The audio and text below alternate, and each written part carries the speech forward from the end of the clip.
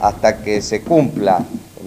lo que la justicia ha determinado, que es la entrega de nuestra sede. Esta es la razón por la que estamos trabajando aquí, un lugar donde nos podamos seguir reuniendo, entendiendo de que tenemos que tener un espacio para recibir a todos nuestros compañeros y esperamos que pronto eh, podamos tener, como corresponde, la sede partidaria del Partido Justicialista. Lo que ha pasado es esto, no se puede de ninguna manera, o sea, esto era lógico que pasara, no se puede suspender una elección que no tenía validez en realizarla.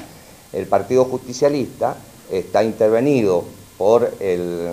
máxima, la máxima autoridad que tiene nuestro partido a nivel nacional desde el mes de diciembre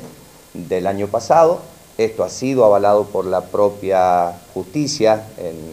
electoral a nivel nacional y de hecho frente a esta convocatoria que no tenía validez fue el propio juzgado federal con competencia electoral aquí en Jujuy que en dos oportunidades justamente dijo que no tenía ninguna validez. Por lo tanto, lo que ha sucedido no es nada más ni nada menos que lo lógico que debía pasar frente a un acto inexistente, que no tenía validez. Por lo tanto, nosotros seguimos con los, que los lineamientos que ha fijado el órgano nacional en el sentido de que nos estamos preparando para el cronograma electoral de las primarias abiertas, simultáneas y obligatorias, que nos van a permitir que a través de, como corresponde del voto, se pueda seleccionar a los candidatos que nos representarán para los cargos nacionales, nos prepararemos para la selección de nuestros candidatos para los cargos tanto provinciales como municipales. Y tal cual lo dijo el Consejo Nacional en su última eh, reunión la semana pasada, tendremos las elecciones internas partidarias para ya dejar normalizado al Partido Justicialista después de las elecciones.